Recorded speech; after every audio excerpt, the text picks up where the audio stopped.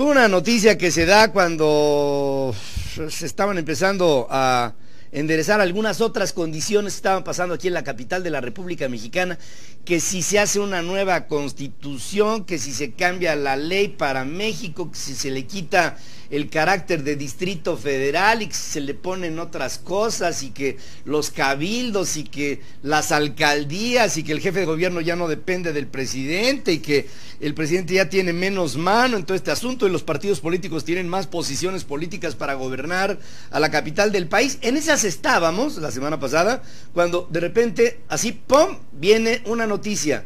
Choca el metro aquí en la Ciudad de México y vuelve a ser otra vez el metro noticia después de la línea 12 y las explicaciones dadas por Marcelo Ebrard y las explicaciones a medias dadas por algunos técnicos que han hablado acerca de este asunto que todavía, por cierto, sigue en pendiente.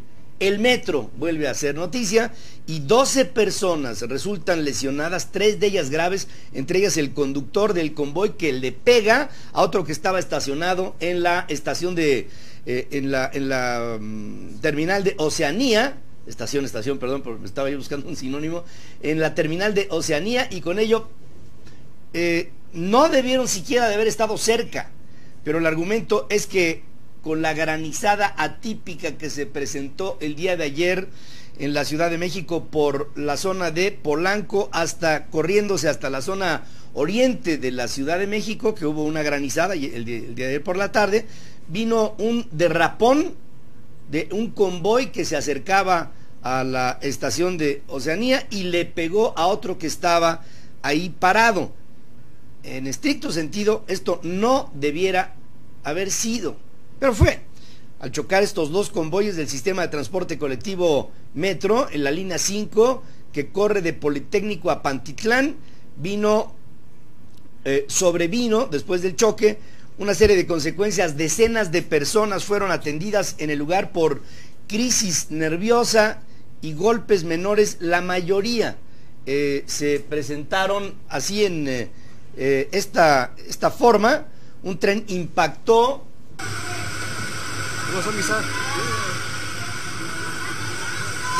Estamos viendo las primeras escenas. con el grupo. De un muchacho que toma el celular José Infante toma estas escenas en las que se empieza a adivinar la confusión luego del impacto que se ha generado ahí eh, por este alcance que le precedía en la estación referida debido al deslizamiento, explicación.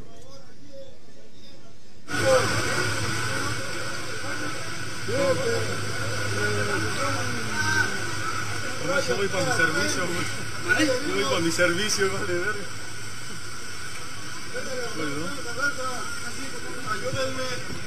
Hemos sabido de casos en donde el conductor de estos convoyes viene jugando Candy Crush o, viene, viene tomado, ¿no? Trae sus copas y por lo pronto Joel Ortega se presentó para dar un informe preliminar. Joel Ortega es el director del sistema de transporte colectivo Metro. Fue, acuérdense, secretario de, de Seguridad Pública aquí en la capital del país en otras administraciones. Y Joel Ortega ahora se quedó al frente del Metro. El funcionario descartó que hubiera fallas en los sistemas automatizados para prevenir este tipo de alcances y que estos no hubieran funcionado. Pero, pues, el sistema de pilotaje automático fue instalado ya en el sistema de transporte público metro a raíz de un fatal accidente que sufriera el metro. Curiosamente, también un lunes, pero el 20 de octubre de 1975, cuando de igual manera un tren alcanzó a otro que estaba detenido en la estación viaducto de la línea 2 de lo que en aquel tiempo eran menos líneas del sistema de transporte como tal. Nada más que en aquella ocasión el saldo fue de 31 muertos y 70 lesionados. En aquel tiempo vino un choque a más de 70 kilómetros por hora y con ello vinieron todas estas consecuencias. El sindicato de trabajadores del metro ha denunciado constante falta de mantenimiento y el riesgo que esto representa para la seguridad de usuarios, que si bien la actual administración capitalina dice ha emprendido un programa de rehabilitación de trenes y de estaciones a partir del incremento de la tarifa, ¿se acuerda usted que a finales del 2013 se incrementó la tarifa de 3 a 5 pesos? y con ello, dice el sindicato, ha habido un mayor esfuerzo por darle mantenimiento al sistema, pero de todas maneras siguen denunciando que eh, se presenta una falta eh, constante de mantenimiento en el metro. En un comunicado, el sistema de transporte colectivo informó que el Comité para la Investigación de Incidentes Relevantes inició ya una, una investigación interna para determinar las causas del accidente informó que hay un seguro que se va a hacer cargo de los gastos médicos de los heridos y la reclamación de los daños.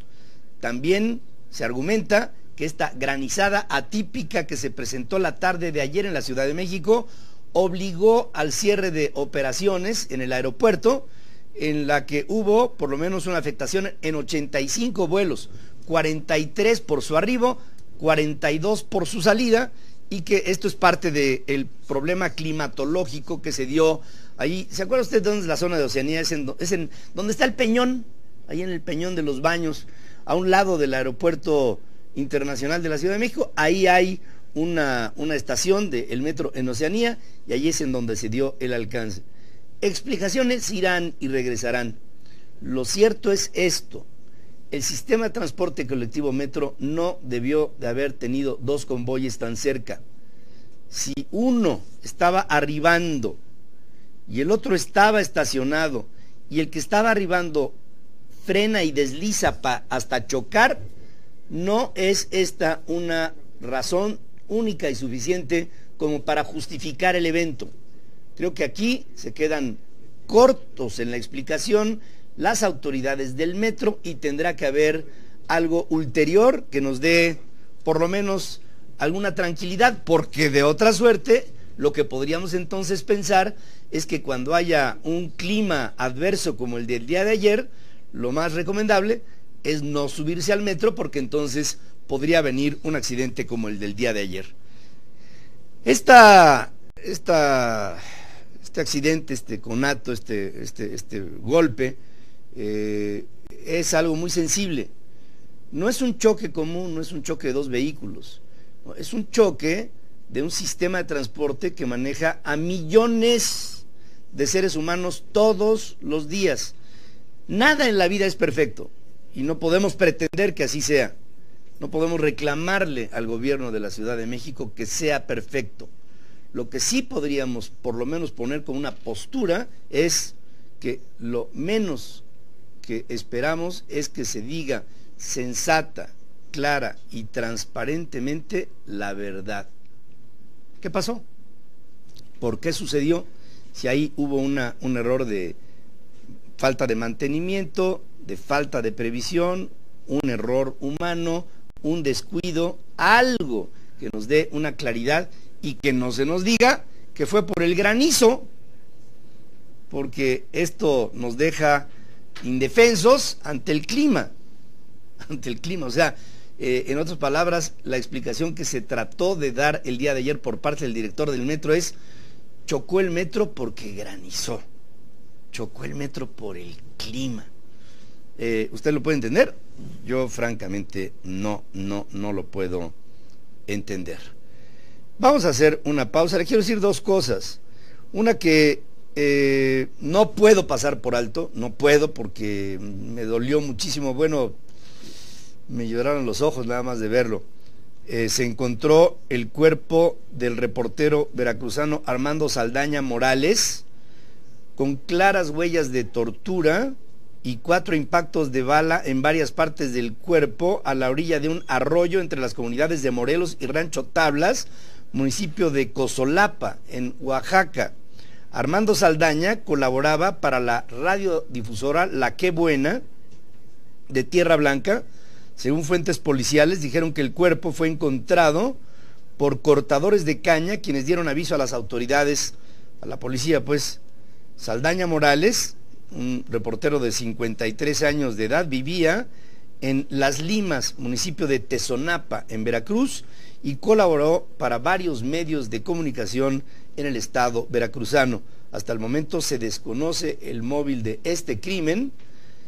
Eh, otro periodista más que en México es encontrado así, tirado a la orilla de una carretera, muerto, víctima de tortura y de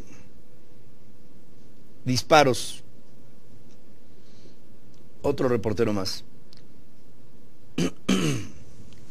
Me duele profundamente desde aquí a su familia le envío mis profundas condolencias y al gremio periodístico por otra muerte más de otro reportero.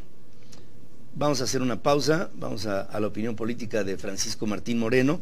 Antes le digo que Ricardo Tinajero nos dice, así es Pedro, el clima o los ovnis. Ya ves, en este país nadie comete errores. Eh, Doggy Pleasures dice, a dos años de el aumento a la tarifa, aún no encuentro una sola mejora. ¿Alguien sí en el metro?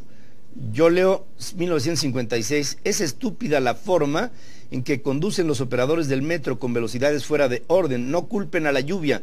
Evelyn Rentería, a lo mejor sale la verdad y resulta que el conductor está facebookeando o tuiteando. Es probable. Eh, Carlos Hernández, Pedro Granizada, la que no deja de caernos desde la entrada de Enrique Peña Nieto al poder, sobre todo en seguridad y en nuestra cada vez más pobre economía, lo cual ha hecho que nos derrapemos hacia el despeñadero. Así es como lo dice. Una pausa, regreso con Francisco Martín Moreno, después de esta, esta breve pausa con ustedes.